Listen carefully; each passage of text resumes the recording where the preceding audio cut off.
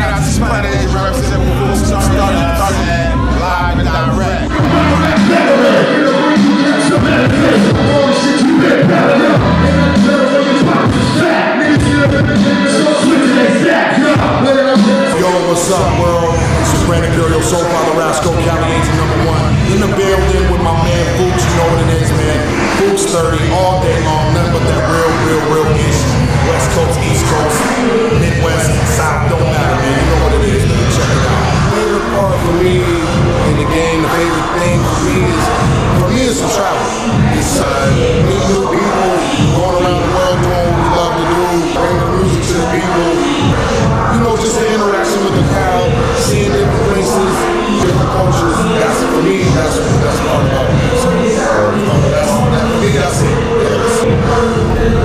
Yeah.